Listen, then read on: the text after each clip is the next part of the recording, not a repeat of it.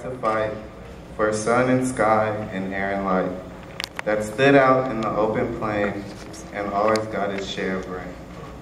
Never became a forest king, but lived and died a scrubby thing.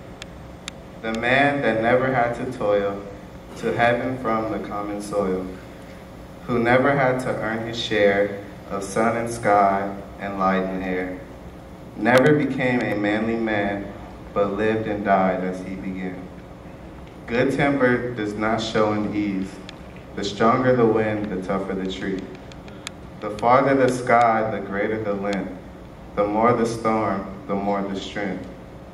By sun and cold, by rain and snows, in tree or man, good timber grows. Where thicket stands the forest growth, we find the patriarchs of both, and they hold converse with the stars, whose broken branches show the scars of many winds and much strife. This is the common law of life.